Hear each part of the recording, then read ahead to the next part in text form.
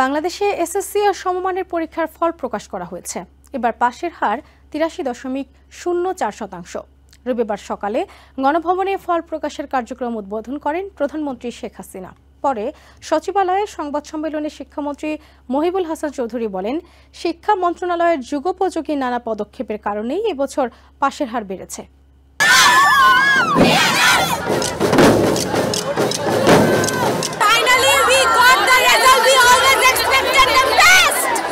প্রত্যাশার সঙ্গে প্রাপ্তির মেলবন্ধন।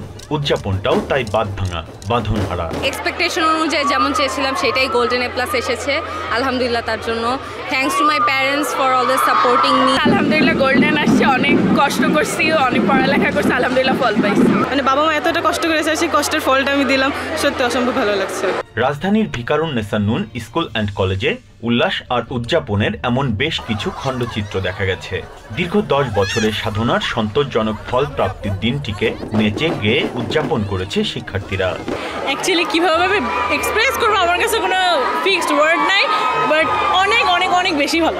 ফ্রেন্ডসরা সবাই জিপিএ ফাইভ পাইছি মানে খুশিটা আদায় করা যাচ্ছে না মানে এত খুশি আমরা। বাবার অবদান সব থেকে বেশি ছিল। আমাকে ঘুম থেকে কোচিংয়ে পাঠানো। মানে সেই আমার পিছনে সব থেকে বেশি লেগেছে। সন্তান এসএসসিতে ভালো করায় খুশি অভিভাবকরাও। সামনের দিনগুলোতে এই সাফল্য ধরে রাখতে পড়াশোনায় আরও মনোযোগী হতে শিক্ষার্থীদের প্রতি আহ্বান জানান তারা। আমার বাচ্চা হাসছে আমার পৃথিবী হাসছে এটাই বলব। পরীক্ষার সময় আমরা সব সময় বলছি যে তুমি ভালো করে পরীক্ষা দাও রেজাল্টের কথা ভেবো না। সবার আগে তুমি তুমি আমাদের কাছে। দশ বছরের পড়াশোনার শেষে আজকের যে রেজাল্ট এটার জন্য আলহামদুলিল্লাহ ঠিক আছে মানে ভাষায় প্রকাশ করার মতো না। এদিকে এসএসসির ফল প্রকাশ উপলক্ষে স্থানীয় সময় রবিবার সচিবালয়ে সংবাদ সম্মেলনে শিক্ষামন্ত্রী জানান, এ বছর তিরাশি দশমিক শূন্য চার শতাংশ শিক্ষার্থী পাশ করেছে। নয়টি সাধারণ শিক্ষা বোর্ডের মধ্যে ঢাকায় উননব্বই দশমিক তিন দুই, চট্টগ্রামে বিরাশি দশমিক আট শূন্য, সিলেটে তিয়াত্তর দশমিক তিন পাঁচ, যশোরে বিরানব্বই দশমিক তিন দুই।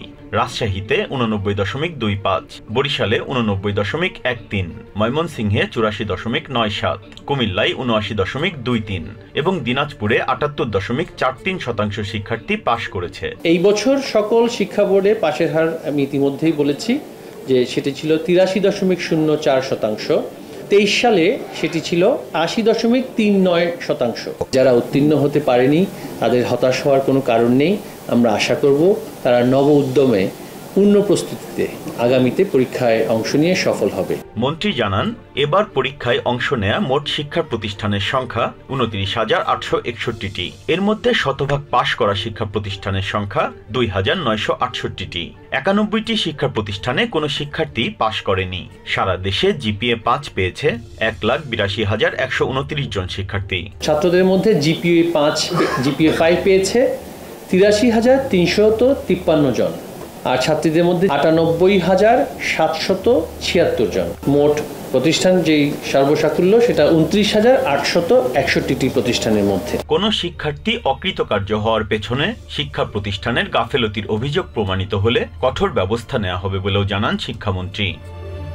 Biprajit Chanda TVN twenty Dhaka. New York থেকে সম্প্রচারিত টিভিএন টোয়েন্টি ফোর টেলিভিশন বিশ্বজুড়ে বাঙালির কণ্ঠস্বর।